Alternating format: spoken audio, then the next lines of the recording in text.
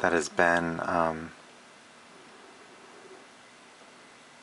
made using this technology and it's the first offered in the actual prototype form. So what you are getting when you get a Mary Magpie doll is the actual prototype. They're all hand painted, they're all one of a kind, and they're all 3D printed, which is a very interesting process. And because of that, their skin and their texture is almost that of a felt Lenci doll. Um, it, it, it's not soft. It is plastic.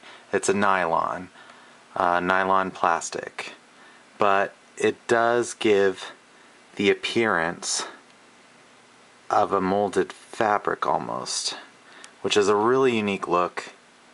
And I really feel like it offers more soul to the dolls.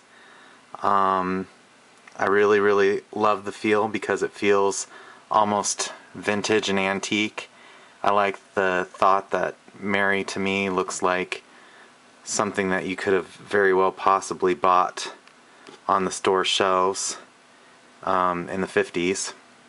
Obviously, there's some uh, details that uh, wouldn't have been painted in the 50s, but to me, that's part of the charm of them as well. So here we go.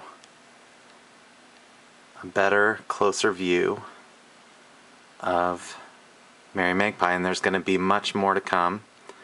Within the next couple weeks, I'm going to be introducing nine more wigs, which will give you the option of a dozen looks because there'll be a dozen wigs altogether. There's three right now, and there'll be nine more, so there'll be a dozen different looks for Mary um, which is really exciting to me. And uh, she's also going to be fully jointed and available fully jointed as well as the standard. And she is going to be getting two new friends, Bettina and Corinne. So it'll be really exciting to introduce them into the line as well. So I hope you enjoyed this little sneak peek of Mary Magpie, and um, I apologize for the bad filming, but um, I'm new at uh, this whole filming thing, so give me a chance. Thank you so much.